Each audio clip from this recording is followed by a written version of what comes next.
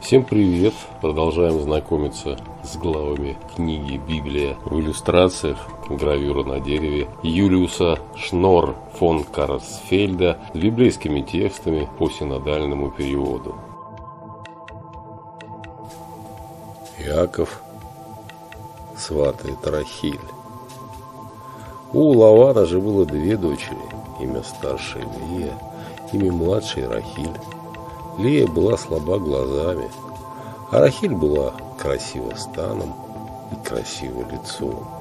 Яков полюбил Рахиль и сказал, «Я буду служить тебе семь лет за Рахиль, младшую дочь твою». Лаван сказал ему, «Лучше отдать мне ее за тебя, нежели отдать ее за другого». «Кого? Живи у меня».